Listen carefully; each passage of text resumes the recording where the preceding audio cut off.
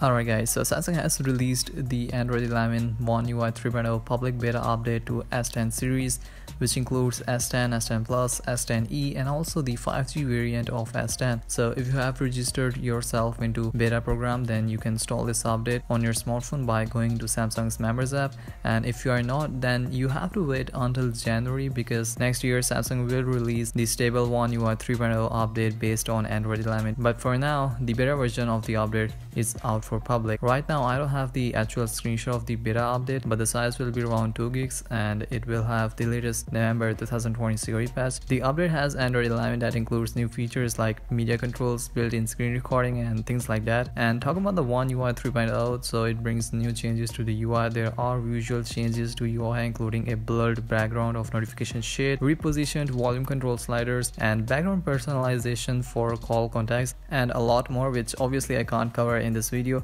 but this update is currently rolling out in US and soon it will start rolling out in other countries and regions as well within few weeks. So yeah that's pretty much it from my side. For more future updates regarding the Android 11 update you can subscribe to the channel because I cover every single news about the Android 11 updates. Give this video a thumbs up subscribe the channel for more further and future updates and I'll see you guys in the next one. Peace out